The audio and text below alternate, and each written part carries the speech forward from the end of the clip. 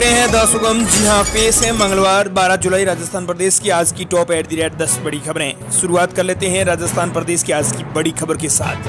बड़ी खबर, राजस्थान में मौसम का सीज़न है। इसी बीच राजस्थान के किन जिलों में भारी बारिश हो सकती है, इसको लेकर मौसम विभाग ने अलर्ट जारी किया है और ये जानकारी आपको देना हमको उचित लगी है।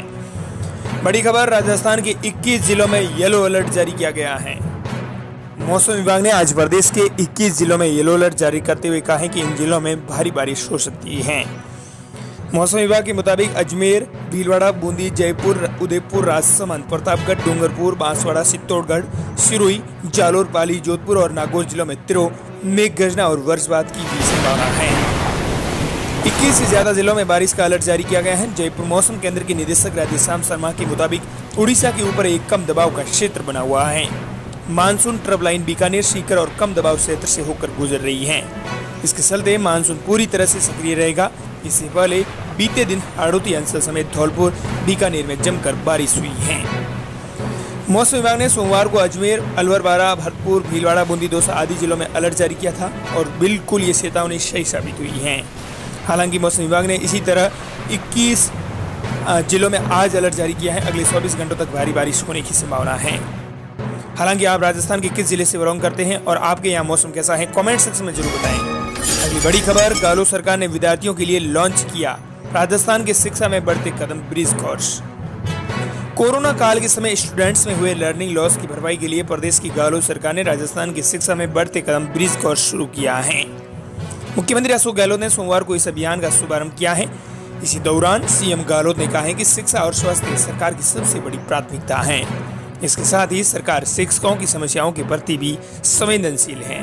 हालाँकि इस ब्रिज कोर्स के तहत आपको बता दें कि पिछली कक्षाओं के भी पढ़ाई विद्यार्थी, अगर मान लो कोई विद्यार्थी आठवीं कक्षा में पढ़ रहा है तो उसे सातवीं कक्षा की अगर पढ़ाई करनी है तो ये ब्रिज कोर्स के तहत हो पाएगी। अगली बड़ी खबर, अहम खबर है, आपको दे दें कि सबसे बड़ी खबर सीएम अशोक गहलोत के आरोपों के बीच सचिन पायलट ने आखिरकार सुप्पी तोड़ी है। पूर्व डिप्टी सीएम सचिन पायलट ने राजस्थान विधानसभा चुनाव 2023 को लेकर कहा कि अगर पार्टी एकजुट होकर काम करेगी तो हम 25 साल पुराना रिकॉर्ड तोड़ सकते हैं। पायलट ने कहा कि राजस्थान में हर बार कांग्रेस की सरकार बनने के बाद हमें हार का सामना करना पड़ा है। इस बार हम ये परंपरा तोड़ सकते हैं। सोमवार को साक्षात्कार के दौरान पायलट ने कहा कि हमारा प्राथमिक उद्देश्य राजस्थान में 2023 के विधानसभा चुनाव में कांग्रेस को रिपीट करवाना है।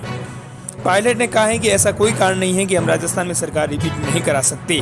इसके लिए पार्टी को एकजुट होकर अलग अलग तरीके से काम हो, करना होगा। वहीं अगली बड़ी खबर आपको दे दें कि अब कक्षा छह से ही मिलेगी छात्राओं को साइकिल। स्कूल का सफ़र होगा आसान। राज्य सरकार की ओर से सरकारी स्कूलों में कक्षा छह से आठवीं तक की छात्राओं को निःशुल्क साइकिल की सौगात दी जाएगी। इस संबंध में दिशा निर्देश जारी कर दिए गए हैं। सरकार की इस पहल से प्रदेश की करीब कई हज़ारों छात्राओं को लाभान्वित हो पाएगी। सरकार की ओर से बालिका शिक्षा को बढ़ावा देने के लिए कक्षा नवी में प्रवेश लेने वाली सरकारी स्कूल की सभी छात्राओं को निःशुल्क साइकिल दी जाती है। हालाँकि अब पहली बार छोटी कक्षाओं की छात्राओं को भी साइकिल दहाने की पहल की गई है।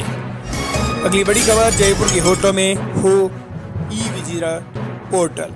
होटल गेस्ट हाउस संचालकों में हुई बैठक पुलिस के साथ। राजधानी जयपुर में बढ़ते अपराधों की रोकथाम और पर्यटकों की सुरक्षा के लिए जयपुर पुलिस कमिश्नरेट ने सख्ती दिखाई है। जयपुर पुलिस कमिश्नरेट की ओर से अब देशी और विदेशी पर्यटकों का ब्यौरा ई विजिटर पोर्टल पर सुरक्षित रखा जाएगा। इसी सिलसिले में सोमवार को शहर के बिरला बाज़ार में जयपुर पुलिस कमिश्नरेट की ओर से होटल, गेस्ट हाउस संचालकों की बैठक आयोजित की गई है। बैठक के दौरान ई विजिटर पोर्टल के बारे में जानकारी दी गई है। होटल और गेस्ट हाउस संचालकों ने होटल में ठहरने वाले गेस्ट की तमाम एंटी रजिस्टर्स में दराज कराने की बात कही है, लेकिन additional commissioner crime Ajay Pal Lamba ने सख्त लहजे में पुलिस के निर्देशों की पालना करने को कहा है। अगली बड़ी खबर, हमारे 50 फ़ीसदी से ज़्यादा विधायकी फैमिली प्लानिंग में फेल। पंचायत नगर पालिका वाले नियम लागू हो तो आधे विधायक चुनाव नहीं लड़ पाएँगे। जनसंख्या दिवस पर हर साल मंत्री विधायक बढ़ती जनसंख्या पर चिंता ज़ाहिर करते हुए परिसार नियोजन का वकालत करते हैं। लेकिन राजस्थान के आधे विधायक फैमिली प्लानिंग में ही फैले हैं। प्रदेश में कांग्रेस बीजेपी को मिलाकर सौ विधायक ऐसे हैं जिनके दो से ज़्यादा बच्चे हैं। पंचायती राज और शहरी निकायों के चुनाव लड़ने के लिए दो संस्थान से ज़्यादा नहीं होने का नियम है, लेकिन सांसद और विधायकों पर इस तरह का कोई प्रतिबंध लागू नहीं है। अगर दो संतान का प्रावधान विधायक चुनाव में लागू हो जाए तो प्रदेश के आधे विधायक चुनाव लड़ने से अयोग्य घोषित हो जाएँगे। विधानसभा में दिए गए रिकॉर्ड के अनुसार मौजूदा विधानसभा में सौ विधायक ऐसे हैं जिनकी दो से ज़्यादा संतान हैं।